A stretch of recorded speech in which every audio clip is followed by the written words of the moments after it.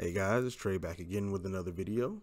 And in today's video, I want to take this channel on its first step into the cryptocurrency world. So basically on this channel, we haven't done anything with crypto yet. So what I want to do today is actually install the Web3 package and show you some of the things. So basically we'll just, let's see, some simple stuff. Uh, I guess we'll just create an account and um, yeah, let's just start off there. We'll create an account and probably do like some simple things with the Web3 package so you can see how you can interact with the Ethereum blockchain.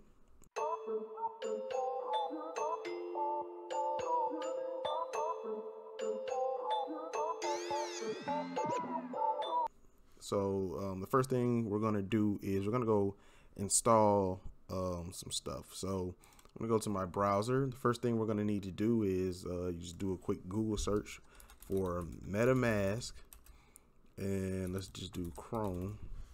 All right, and then it'll be this first one here. You click on that, and then you'll uh, there'll be like an add to Chrome or like an install button or something right here.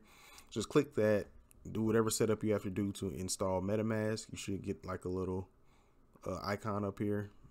All right, so once you have that installed in Chrome, the next thing we're going to want to do is go to infura.io and then we're going to sign up for an account here. So just come down here, click sign up, fill out the information, sign up like you do with any other website, just sign in.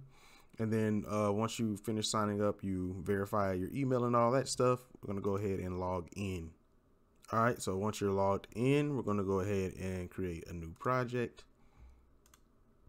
We're going to click on Ethereum as the product. And then I'm just going to call this tester. All right. So now we have this created. And then here on endpoints, we're going to go down to Ropsten. All right. This is going to be a test network. And then we're going to go ahead and copy this um this first one here is https link right here okay all right so now let me go ahead and kind of explain what's going on now that we're kind of set up okay so this metamask is basically a wallet that's on your browser. So basically, it'll store all your accounts to um, your different, you know, blockchains and things like that. So once you create an account, you can add it in here and it'll keep track of how many coins you have and all that good stuff. So this is what we're going to need because this will actually connect into the websites and, you know, allow you to do transactions and everything like that. So we're going to install that for that purpose. And then here on this infura.io, the reason why we wanted to do this is because we need an endpoint to connect to in order to connect to um, basically the Ethereum network. So in order to connect to it, we need a way in. And this is what this is. It's basically a way to connect to it and get information to and from the actual blockchain. Okay. So once we create that, remember, copy that. And then now we can actually get into the code. So you can go ahead anywhere, you know, create your folder wherever you want to create your project at. And then um, once you get in here, we're going to um, install npm like we always do. So we're going to say npm init-y.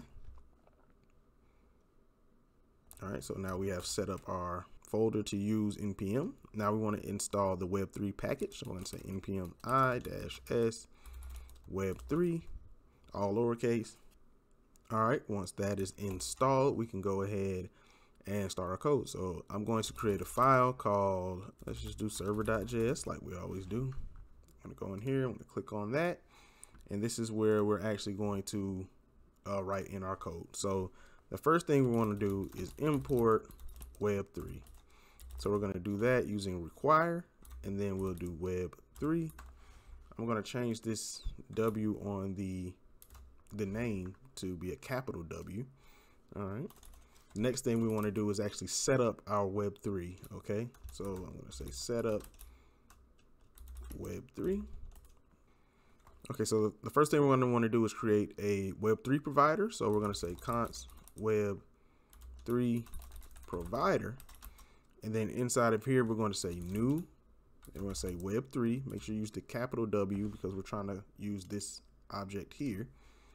And then we're going to say dot providers and then dot .http provider.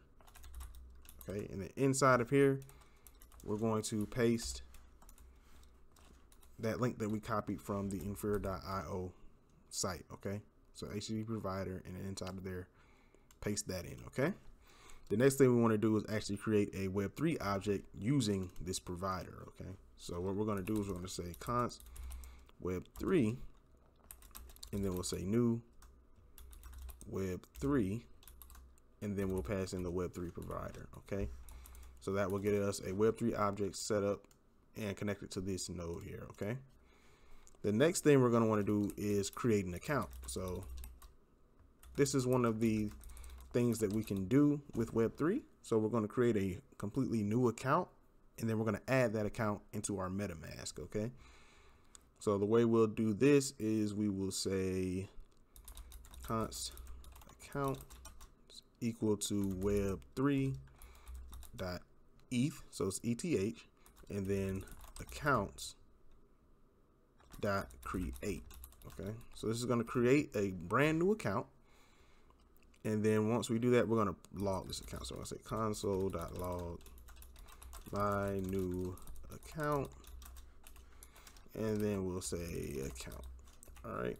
And this is going to give us the account address and also the private key. This is what we need to put our account into metamask okay? So from here we're going to save that and then we're going to go ahead and run this. So the way we'll do this is we're going to say node server.js then we hit enter and here we go. So it says my new account and then we have our account address and then our account's private key Make sure that nobody gets this private key. This private key is very important. That's why it's called private. Keep it to yourself. Um, don't do what I'm doing here and actually showing it to you guys because I'm not going to use this account. This is just a, you know, a tester. So what I'm going to do is I'm going to copy this private key, okay? And then I'm going to go back to our browser. I'm going to go back over here to where it says MetaMask. I'm going to click on that and then we're going to go and click on the icon in the top corner. Let's say import account, and then we're going to leave it on private key, and then we're going to paste in that private key and click import. So as you can see now, we have imported this account. So if we go back to our code here, we see that it's was that one EEB so if we go back to MetaMask, we can see that it is one EEB. So this is that account. So now we have our account in MetaMask. And if you go to any Web3 site, you'll be able to use this account in there. So we'll probably do something like that later where we're actually using the accounts and, you know, we'll probably build out a front end and actually, you know, do some more fun stuff. But right now, I just wanted to give you guys an intro to Web3 since we haven't done anything on this channel uh, in regards to the you know the whole cryptocurrency scene. That's it for this one. I subscribe to the channel and all that jazz, and I will see you guys in the next video.